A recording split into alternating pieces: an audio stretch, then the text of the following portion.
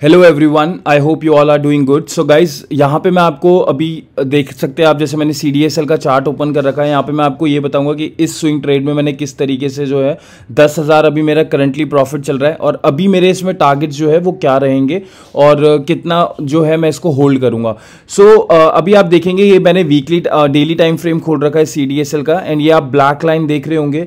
ये एक 200 moving average है जो मैंने इसमें ऐड कर रखा है। क्यों मैंने ये ऐड किया है? क्या इसके पीछे के रीजन है ऐड करने के? तो मैं आपको वो अभी बताऊँगा।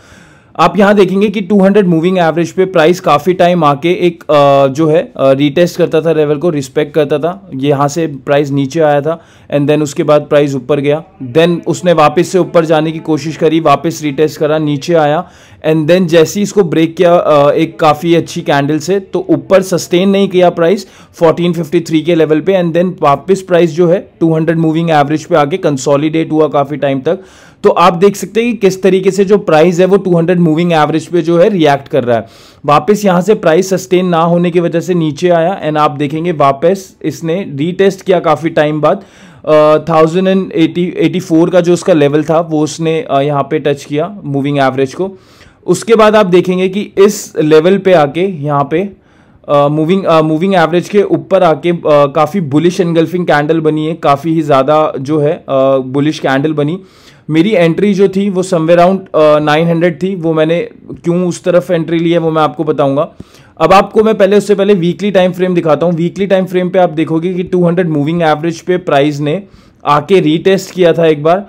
इस लेवल पे प्राइस ने जो है सपोर्ट लिया 200 मूविंग एवरेज का। आप ये देखोगे।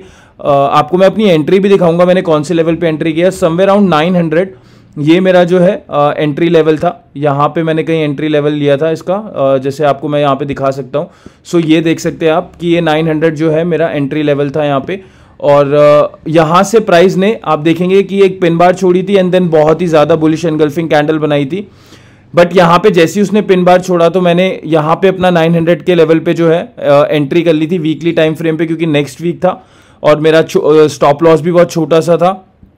अब आप यहाँ पे देखेंगे कि एक काफ़ी अच्छी ट्रेंड लाइन भी आ रही है। अभी फ़िलहाल जो मेरे टारगेट्स है वो काफ़ी ऊपर के इसलिए मैंने एग्जिट नहीं किया। वो मैं बताता हूँ क्यों मैंने एग्जिट नहीं किया। सो so, ये एक ट्रेंड लाइन आ रही है। आप देख सकते हैं यहाँ पे एक ट्रेंड लाइन मैंने ड्रॉ करी है ग्रीन कलर से। सो so, ये ट्रेंड लाइन आप देखेंगे कि काफ़ी टाइम से जो प्राइस ऐसे रीटेस्ट कर रहा था यहाँ पे आप देखेंगे यहाँ पे जब 1708 पे था प्राइस ने हाई किया उसके बाद से प्राइस काफ़ी डाउन ट्रेंड में था एंड बार बार इस ट्रेंड लाइन को जो है रिस्पेक्ट कर रहा था एंड देन एट लास्ट ने यहाँ पे आके ब्रीच किया इस ट्रेंड लाइन को। सो so, अभी जो मेरे टारगेट्स है अभी फ़िलहाल मैंने इस ट्रेड में बना हुआ मुझे करंटली जैसे आप देख सकते हैं यहाँ पे इलेवन थाउज़ेंड का प्रॉफिट है। बट अभी मैं इसको होल्ड कर रहा हूँ और मेरे जो नेक्स्ट लेवल के टारगेट्स रहेंगे इसमें आ, वो कुछ समवे अराउंड रहेंगे आपके एक तो फोर्टीन हंड्रेड ये मेरा पहला टारगेट रहेगा और जो दूसरा टारगेट रहेगा मेरा वो रहेगा ये हाई का।